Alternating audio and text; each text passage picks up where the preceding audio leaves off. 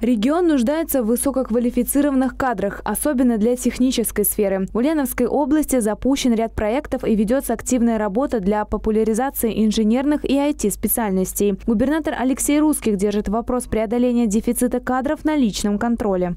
Учитывая высокий уровень развития промышленности и связанный с ним рост дефицита кадров, мы продолжаем формировать условия для качественной подготовки будущих специалистов.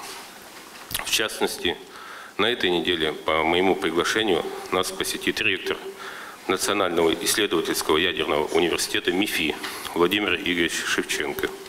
Мы обсудим с ним ряд вопросов, в том числе проект по капремонту одного из учебных корпусов филиала вузов в Димитровграде. Интерес молодежи к техническим специальностям можно отследить и по росту популярности к сдаче ЕГЭ по информатике, профильной математике и физике. С каждым годом увеличивается число 100-бальников и высокобальников. В 2023 году общее количество выпускников, получивших высший балл по ЕГЭ, было 44, а в этом 52. Важно не только взрастить профессионалов на Ульяновской земле, но и сделать все возможное, чтобы молодежь осталась в регионе. Победа в федеральном конкурсе «Регион для молодых» позволит создать больше возможностей для самого активного и креативного пласта населения. Количество субсидий достаточно большое, это 120 миллионов рублей. Оно будет направлено на ремонт э, двух э, молодежных центров в городе Димитровграде, э, в соцгороде в районе и в Новоспасском районе. Это такой проект «Ангар», раньше был рынок, очень удобная локация с точки зрения того, то, что там находится и колледж, и школа. И, соответственно, постоянно поток молодежи через этот объект а, будет проходить, э, и а, полностью мы его планируем уже сдать в 2025 году. В регионе завершилась посевная. С учета озимых площадь на 2500 гектаров выше уровня 2023 года. Около 180 тысяч гектаров земли остается неиспользованными. Глава региона потребовал разобраться в причинах. А пока передовиков весенне-полевых работ наградят на традиционном Дне поля, который пройдет в регионе 6 июля. По традиции, одной из основных экспозиций выставки станут экспозиции муниципальных образований региона. Здесь будут представлены подворье, культурные и национальные аспекты и традиции районов.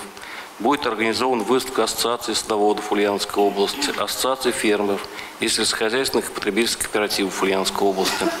В программе мероприятия предусмотрен выезд научных достижений и сельскохозяйственных животных в формате контактного зоопарка. В эти выходные в регионе пройдет еще одно знаковое событие. На улице Ленина от Кирхи до Музея фотографий развернется фестиваль современного искусства и зодчества «Окна». На празднике состоится открытие и самого крупного в стране музея наличников. Мы делаем культурно-развлекательную программу, как фестиваль современного искусства и зодчества «Окна», а, на которой помимо презентации самой экспозиции из 44 наличников практически изо всех муниципалитетов Ульяновской области.